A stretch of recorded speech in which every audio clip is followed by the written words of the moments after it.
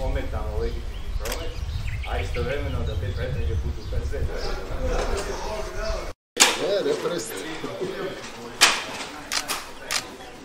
Nego gospođa je rekla da će nam dijeliti oku.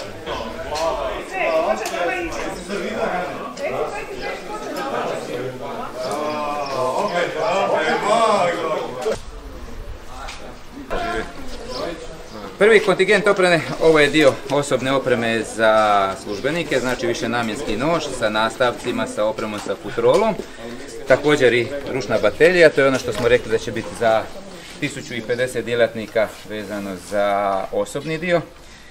Piperskopi, ajmo reći zadnja stvar tehnike koja jednostavno može 2 mm ući u profil od gume i možete direktno gumu na vozilu pregledavati iznutra da li ima nešto u biti skriveno, pogotovo u rezervnim kotašima. To je jako često vezano za krijumčarenje na granici. Ovdje uređaj koji se zove videoskop. On može ući u oplate i u sve dijelove koje su, koji su nepristupačni u ovaj, pogledu kroz nju.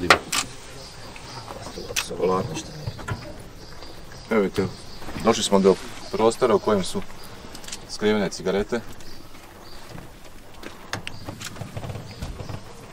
Ovo će biti uobičajena praksa. Znači s ovim kotačićem na- pomičemo brž sonde 360 stupnjeva, tako da možemo pregledati cijeli prostor.